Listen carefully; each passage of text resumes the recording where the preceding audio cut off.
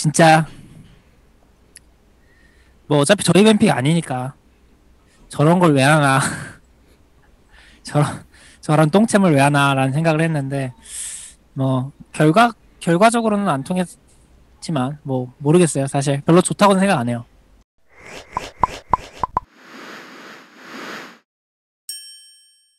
네 정말 매 경기 매 경기 끝나고 나서 한 판 한 판이 아쉬웠던 판이 너무 많아서 뭐 G2가 져서 저희가 못 올라가긴 하지만 뭐 저희가 그 전에 만들어 놓은 상황이 쉽지 않았기 때문에 어 모든 경기들은 후회가 남았지만 그냥 대회 자체로는 뭐 후회 없이 다 끝 마친 것 같습니다.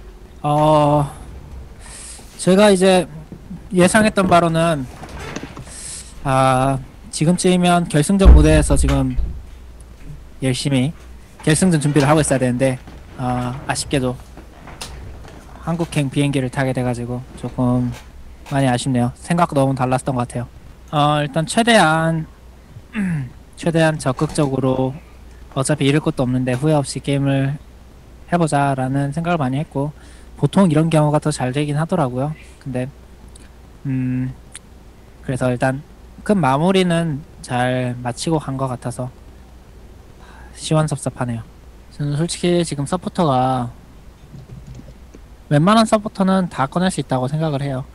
모든 서포터를 상황에 맞게 쓸 수만 있고 그래서 챔피언 폭이 넓고 좀 더 다양한 선수가 많이 중요한 것 같고 네 그래서 그래도 뭐 이번 조별에서는 쓸 수 있는 카드는 거의 다 써보고 마무리 지은 것 같아서 후련하네요.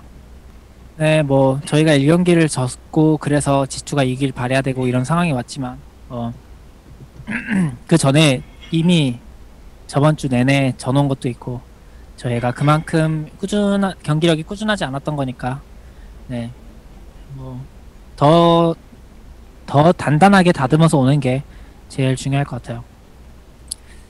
진짜 오늘 저희가 지투한테 지고 지투가 수닝한테 지고 해서 오늘 악연이 좀 깊게 남았는데 그건 뭐 저희 잘못이니까요 사실.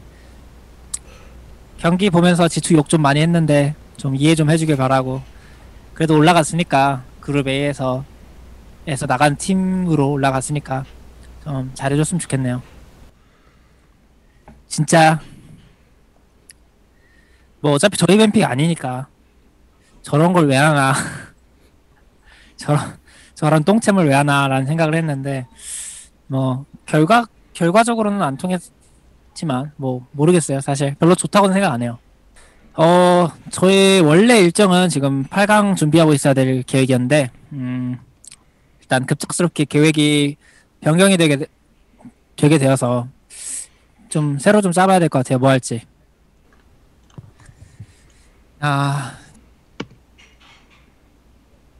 좀 얼굴 좀 오래 비추고 좀 오래 좀 같이 있었으면 좋았을 텐데 좀 일찍 퇴근하게 되는 것 같아서 너무 아쉽고요. 그래도 내년에 다시 돌아오겠습니다.